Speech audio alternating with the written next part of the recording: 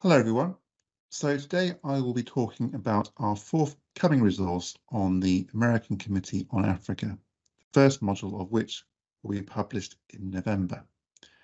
Founded in 1953, the American Committee on Africa, abbreviated to ACOA, was a non-governmental organisation dedicated to supporting anti-colonial struggles in Africa and informing the American public about African affairs based in New York, it coordinated numerous initiatives in solidarity with African liberation movements in the second half of the 20th century.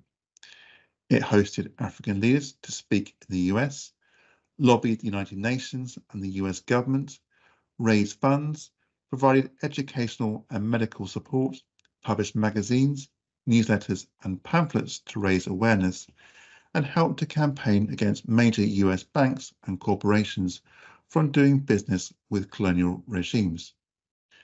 ACOA staff also travelled extensively throughout Africa, attending conferences and visiting newly independent countries. The ACOA resource, therefore, will be a key source for the study of Africa's liberation movements, international solidarity and activism in the 20th century. Our resource will digitise the organisational records and collected papers of the ACOA, which are now held at the Amistad Research Centre in New Orleans.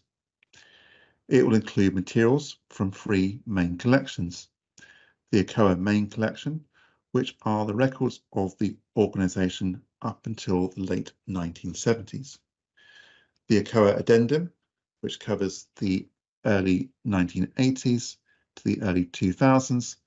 And thirdly, the George M. Houser collection, which comprises of photographic slides and films made by George Houser, ACOA's director from 1955 to 1981, during his many tours of Africa. Together, these collections will comp comprise the largest digital resource relating to the organisation. The resource will be divided into two modules. Module 1 will focus on the first half of ACOA's history up until 1981 and the retirement of George Houser as Executive Director.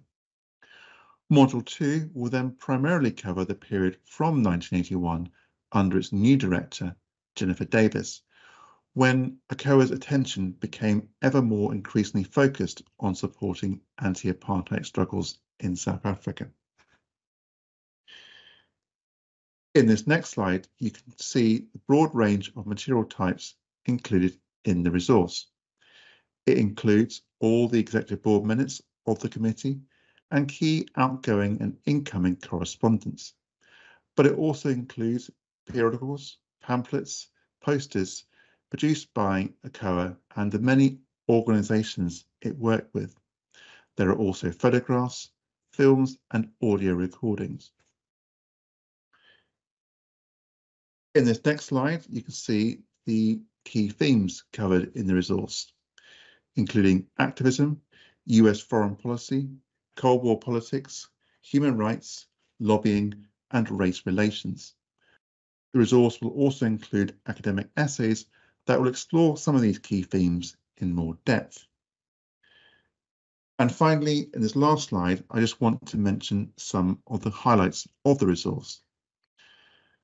ACOA worked with numerous African political leaders, including Tom Mboya, Julius Nyerere, Kwame Nkrumah, Eduardo Mondlane, and Oliver Tambo. And the collection includes correspondence to and from many of these key figures, as well as copies of their speeches and writings. In the course of its work, ACOA collected a large quantity of newspapers, magazines and pamphlets relating to Africa as part of its research library. These include publications produced by a number of African liberation movements and political parties, which are now rare or hard to find elsewhere. The resource also contains a wealth of material for the study of activism in the US. For instance, there is correspondence and collected materials relating to major US campaigns and boycotts to put pressure on US corporations and banks dealing with apartheid South Africa and colonial regimes in Angola and Mozambique.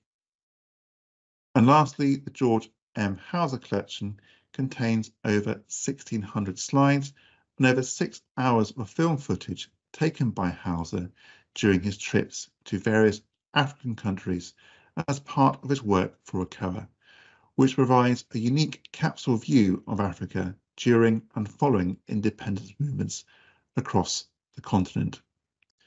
Thank you for listening about this fascinating new resource.